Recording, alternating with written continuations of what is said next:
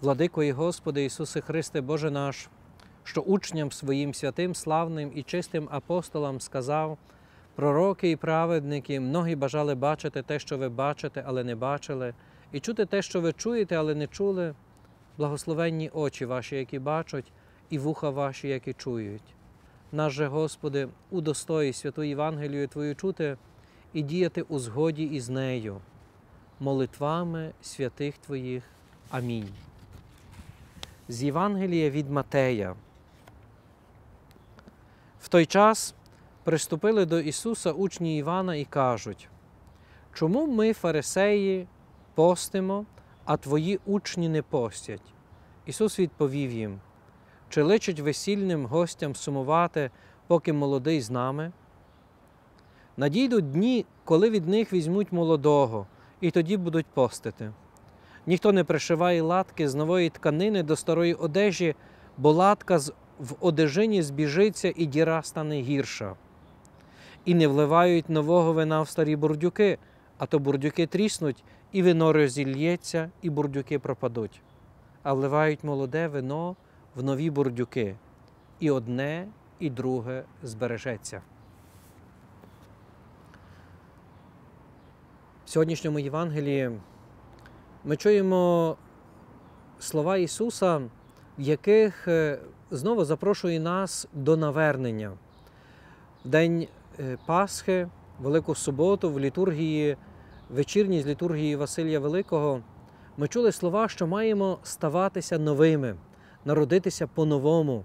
Разом з Нікодимом ми також в перші дні е, пасхального тижня чули про народження з висот, народження на- по- по-новому.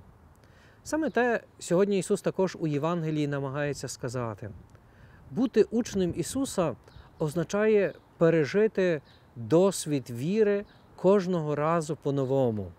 Кожного разу зустрівши Його, бачити і споглядати Його по-новому, досвідчувати Його, тобто повертатися із зустрічі із Ним е, оновленими Його благодаттю і Його присутністю.